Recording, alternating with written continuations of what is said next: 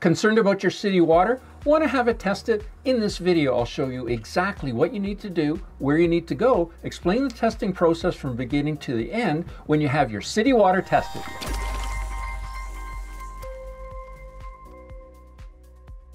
Hi, I'm Gary the Water Guy, and I simplify water filtration to help you conquer crappy water for your family. The only way you truly know what you need to do to get your water fixed for your family is by having it tested first. During this video, I'll highlight common water sampling mistakes the folks at the lab warned us about that many folks make when getting their water tested to make sure you avoid them. I definitely encourage you to watch for those pro tips. And be sure you watch this video right to the end because I'm going to share with you step by step what you need to do to submit a sample to be tested, how to interpret the test results, and use them to determine exactly what is needed to fix your water for your family. Go to tapscore.com. They offer free shipping of the test kits both ways. They have a number of tests for every situation with super easy to follow instructions. Also, they have a network of labs, so your shipping label is customized to your location and test kit for optimal speedy service. Once you go to their website, you may see a, a pop-up appear. If you're in Canada like I am, typically a pop-up appears, but if not, you can just continue on. And then you can see the different tests they have, your city water, well water, rainwater, spring water. And uh, in this case, we're doing city water. And you can see the different city water tests. In most cases, all you're going to need is essential city water test. That's the one that we're going to be doing here today. And, uh, and if you want to see some more information about what's actually included in that essential city water test, you can go down here where it says see full list. Click on that.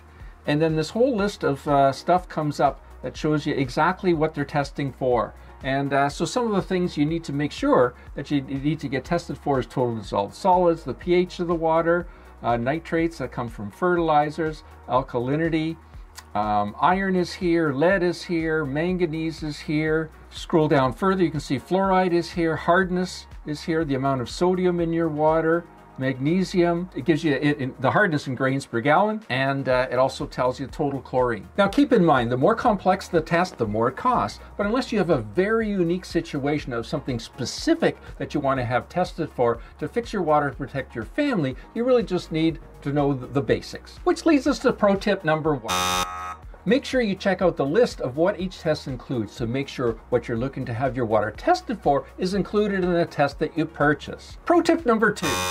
Be sure to stay away from choosing trendy contaminants over the core kits. The core kits were designed with contaminant prevalence, health risks, and budget in mind. Keep in mind that from time to time people get really concerned over single con contaminants um, like Roundup in their water or things like that, or pharmaceuticals in their water, instead of looking at the big picture. Just because something is showing up in your newsfeed doesn't mean that it's in your water. Pro tip number three not reaching out to the Simple Lab team if you're unsure before ordering. Their customer service is world class. If you're confused, they can help identify the right kit for you before you order. But keep in mind, for 9 out of 10 customers, it's one of the core kits. All right, step one, plan ahead. So you need to check out the contents of the box that the uh, test kit uh, comes. So open it up and check inside. So one of the first things you'll notice inside is you'll notice this. It's a freezer pack. And so what you need to do is you need to freeze this for at least six hours before you uh, submit your sample. Then follow the link in the email they sent you to set up your Simple Lab account. And when you open the test kit box, you're going to see this guide here. And when you open up the guide, you'll see there's a whole bunch of information in here. So it's going to tell you the essential water test, and it's going to go over uh, what you need to do to plan ahead. And it's got this card in here that's going to um, identify you and your test kit that it's for you when you send it back to the lab. So you're going to make sure you need to do that. And there's some uh, information card here too that you're also going to have to fill out and submit with your water sample. And then, like I say, the guide has a lot more information. And of course, there's the containers that you're going to be filling. Now, you can hear something rattling around in here. That's supposed to be in there. So whatever you do, you don't want to wash out these containers, and you want to make sure that you don't open them until you're actually ready to take the water sample. Each container tests for different contaminants, and all such results are displayed on a single report.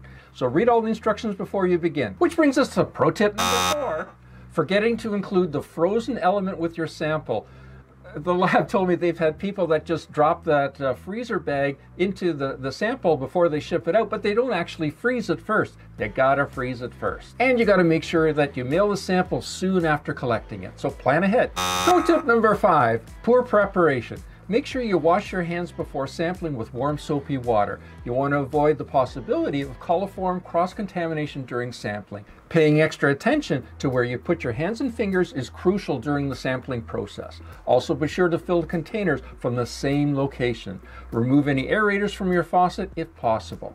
You might choose to take the water sample from a bathtub faucet as they don't have an aerator. Keep in mind that you'll be sampling the cold water only. Use a low water flow in filling the containers. Do not rinse out the containers or their lids. Start sampling. So keep in mind the large bottle, first draw is recommended, and you're going to be filling up to the shoulder. So what that means is you need to collect the sample after the water has been stagnant in the pipes for six or more hours. That water in the sample will have had time to interact with your plumbing and may reveal plumbing related issues. Collect the sample as soon as uh, water flows from the tap. Small bottle, fully flush recommended.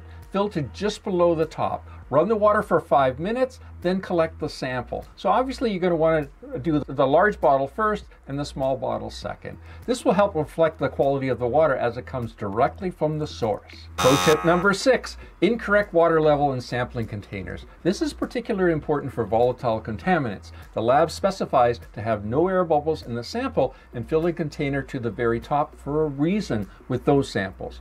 Even the smallest air bubble in the container means volatile organic chemicals, or VOCs, could evaporate during transit. For other containers like heavy metals, it's important to fill the container to the shoulder. Too little, and the lab might not have enough water. Too much, and it might mean trouble during the testing at the lab. Which brings us to pro tip number seven, sampling info. Make sure to complete the following. Sign into your account, gosimplelabs.com, sign in, and complete your information. Where can you find your order number and report ID? It's in your welcome email. Select the report ID, click the sample info, and complete all the fields. So if you go back to your um, welcome email that you received, um, in that it has your TapScore ID number, uh, what kind of a test you had, essential water test, and from here you can uh, click this button in the middle, open report dashboard.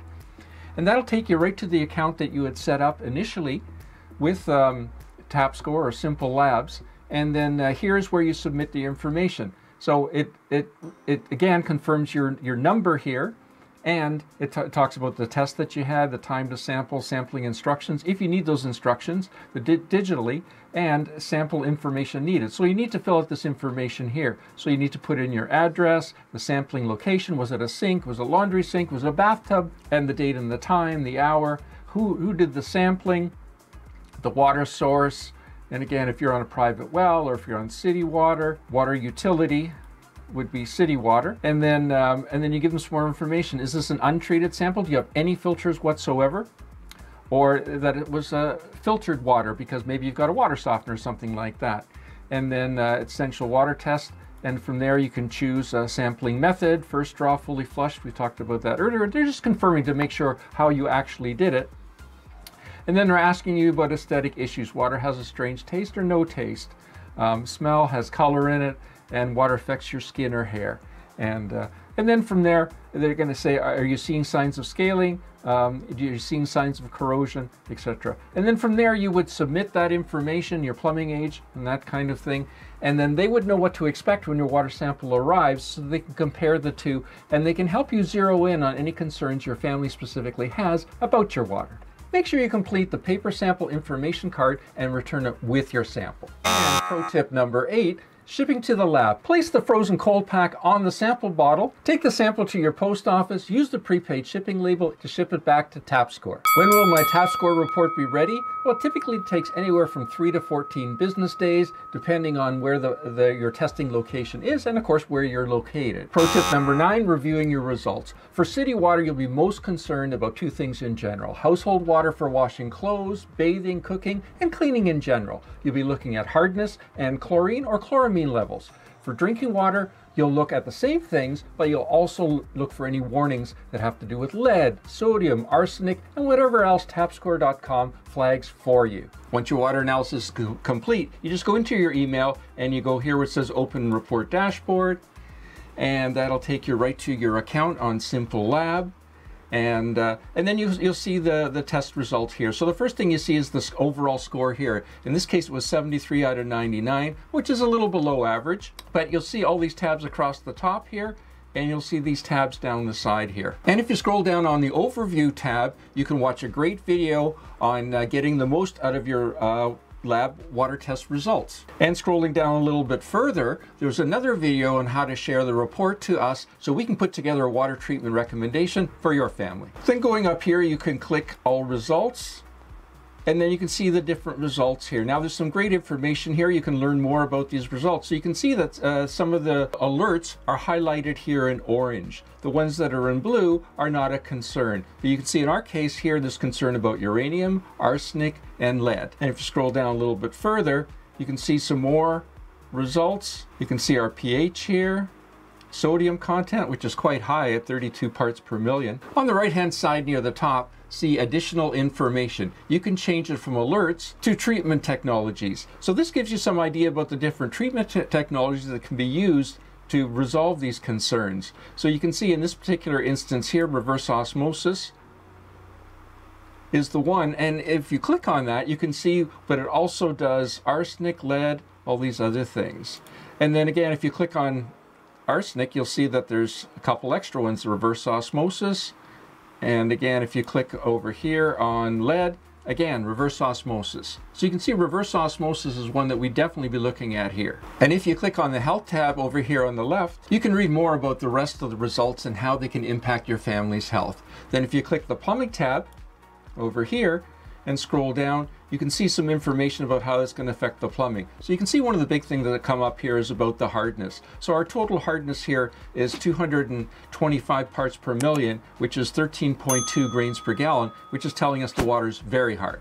And then if you scroll down to next steps, you can see information about sharing the report with us. So in our case here, we need a reverse osmosis drinking water system to get rid of the arsenic, the uranium, the lead, and also reduce that sodium content in our water.